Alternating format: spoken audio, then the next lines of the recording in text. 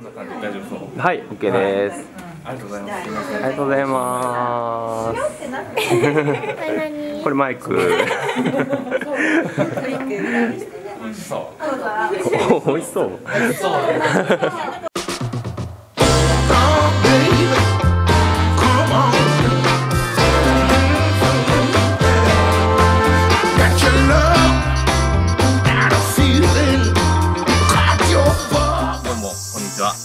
パンダ日和の山美です。今日も動画を見てくださってありがとうございます。今日はですねこちら里の根ホールさんに今日もやね今日も里の根ホールさんに来ています。はい。せえへんねパン。うんちょっとめっちゃ迷ったけど裏口やからいいかなと思ってまあ一応。ちょっと。わかりにくいね。昨日ここでね、あの、三田祭りが行われていて、すごい人出だったんですけど、結局7万5千人やったっけな？すごかったんですけど、今日は打って変わって、もう静かな日常に戻ってます。はい。で、あの、今日ね、ここになぜ来たかというと、こちら、バン。あの、令和19っていうあの、劇団やる気さんっていうね、あの、えっと、三田市で旗揚げされた劇団、市民劇団かな？があって、で、えっと、今度8月の16日と17日に、この里の根ホールの小ホールで、で舞台をやられるんですよ。今年ね、令和元年ですけど、その19年後の三田がどうこうっていうかの話を描いてらっしゃるみたいなんですけど、まあ、詳しいことはね、僕もあんまりちゃんと聞いてなくて、まあ、その辺の、あの、お話だったりとか、ちょっと待ってね。虫が。その辺のね、この、あの、お芝居のね、話だったりとか、まあ、演者さんとか、あの、演出の方とか、まあ、いろいろ、今日練習しているみたいなので、あの、お話を聞きに行けたらなというふうに思ってます。で、あと、あ、そうそう、あの、ここね、ぜひ、ぜひ注目していただきたいんですけど、この、ずらずらっと名前のある中のこの写真、山見光春って、映る？うんあますか？う今なんとか映ってます なんとか。あの、ちょうど2年前かな、2年前ぐらいから、あの、この劇団やる気さんの、まあ、舞台の様子を写真撮らせてもらってまして、まあ、こ今回も、あの、同じく、えー写真係として、えーやっております。では、早速、中に入ってみましょう。ショッみんながどういう状況なのかわからない。プうん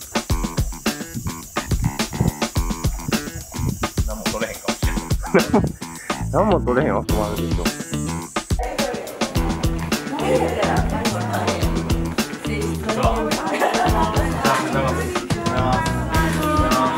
こんにちは。おはようございます。お願いします。今あの舞台作ってるから。なるほど。平瀬さん、平瀬さんです。これ動画なんでもっと動いてもらっても大丈夫です。かじゃあ、平瀬さんの役どころをちょっと。あ今？はい、今、今、今撮ってるよね。撮ります。役どころ？はい。はい。あの歴歴王って言って。歴を。は歴史大好きおじさん。です。三度の歴史研究会に入ってるらしいです。三度の飯より歴史があとよく歩くらしいです。僕とは真逆い。平瀬さん、疲れてらっしゃいますね。超疲れてる疲れが全身出てますよ。頑張る、はい。でも年がね68ぐらいの設定やからああ、はい、はい。ちょうどいいかなまだ疲れてる感じが。はいわかりました。ありがとうございます。あれがなんかパンフレットに載る絵らしいです。へえはい。すごい瞬間あ、サンダの地図？そう。あの19年後の自分らがいる三田新三田失礼します。うーんかわいい星月エレナ役の酒井ゆきのです。バレエが得意ないつでも笑ってる女の子。お母さんがバレエやってるっていうお母さんは子エレナお母さんがいない。ああ、そうなんです。鈴風りんご役の吉田里奈です。りんごちゃんは、えっと、かなと思いながら。歴代さん。の影響で歴史好きになるオタクです。歴史好き。なあ歴史好き。あです。よろしくお願いしますよろしくお願いします。お願いします。今回ね役どころっていうかどんな役して簡単でいいのでちょっと紹介してもらっていいですか？はい中近東らへんからの難民孤児で日本に受け入れられてそこからずっと日本でちっちゃい頃から育ってきたっていう女の子なんですけど、まあ、その子は、まあ、別の故郷が日本じゃないのでその故郷を思いながらどうだろう自分の未来と接し自分の未来どう歩いていくのかっていうのに悩んでいる子ですね。え日本人の役ではないってこと日本人ではないです。国籍は？国出身が出身筋も違うけど日本にずっと育ってきたっていう。でそういう子がにあサンダに来てってことですねはい。今回主人公。主人公ですよね。ね。どうですか？主人公。えー、どう？がなんかそうシーンがねすごいいいシーンがたくさんあるんで、はいはいはいはい。それはプレッシャーでもあり楽しみでもあるけどプレッシャーか あとサンダの人にはぜひ見てほしい作品なんでメッセージ性がすごい強いと思うんでもうね一つ一つセリフ噛み締めながら見ていただければ嬉しいですありがとうございます頑張ってください頑張りますこのお写真はい。あるじゃないですかはい。これがそこのあのフラワータウンのはい。えっと演芸劇場。ですよねはい。これが載ってるってことは、はいやっぱりサンダーの地域が舞台になっているそうですね、えー令和19というタイトルの通り、ちょっと未来のサンダースということでテーマになっておりまして、その中にちょっと象徴的にこちらが出てるんですけれども、それ以外にも、はい。あのサンダー市のことがいろいろ出てくる舞台になっております。ゴーストタウンになったサンダーを救うのはということで、今も問題になっているようなことがもう少し進んでしまって、サンダーが人口減少になってしまったり、いろんなことが起こった未来を舞台になっております。皆さんこれをきっかけに何かちょっと考えていただけたらなというところも含めた舞台になれたらいいなと思っております。サンダーの将来のちょっと近い将来の話ってことですね。はい。はいわかりました。ありがとうございます、はい、ありがとうございました。全然急にい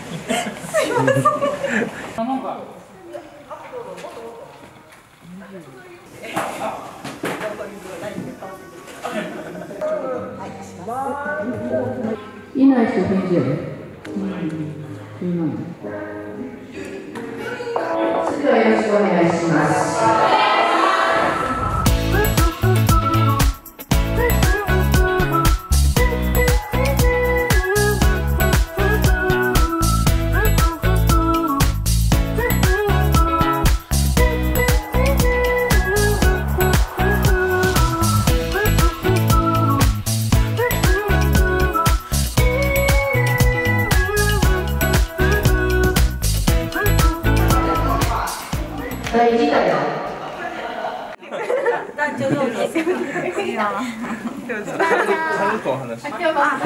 でごめんなさいちょっとここ背景お手洗いって書いてるんで そのあたりに立っていただいて名前は西森千佳子です。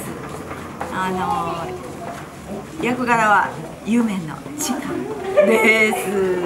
えっ、と82歳の役をしています。で下半身があまりの動かないので、あロボットスーツというものを作っていただきまして、それをこういう感じです。これをつけるとちょっと動けるんですね。で動けるようになりましたので、でも外に出る時にはこの愛車。タブチはい。メルセデス。ですという方ですね。劇団やる気ってどんなその劇団なのか。市民演劇をあのしてたんですけれども10年ほど。その中であの有志が集まって、えー、劇団を作ってであのサンダーで根付かそうと。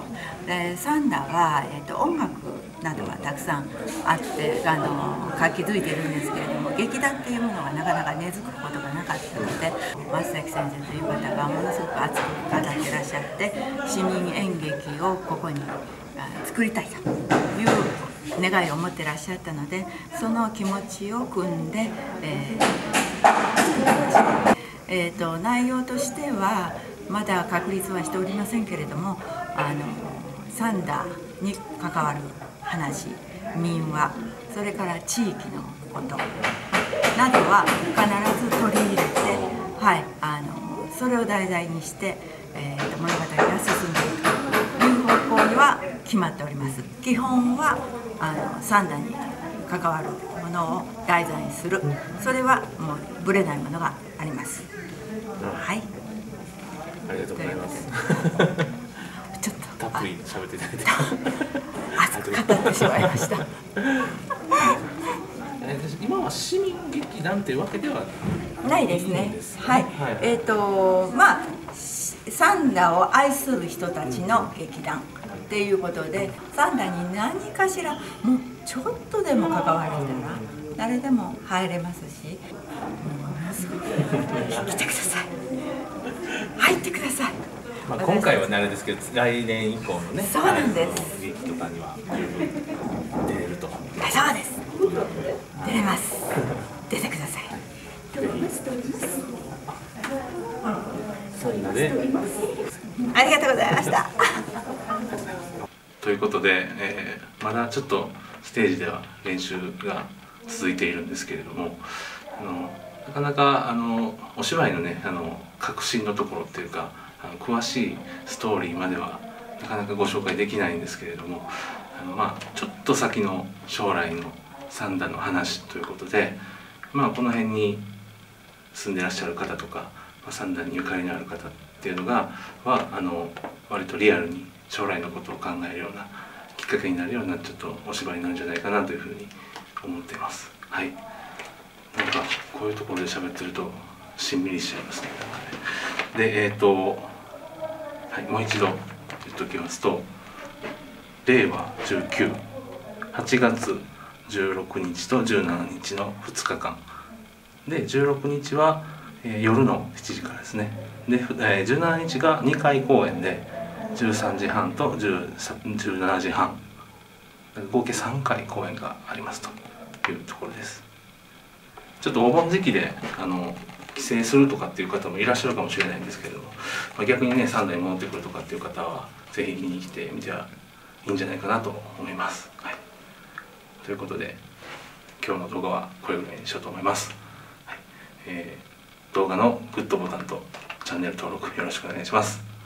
それでは次回の動画でお会いしましょう。バイバイ。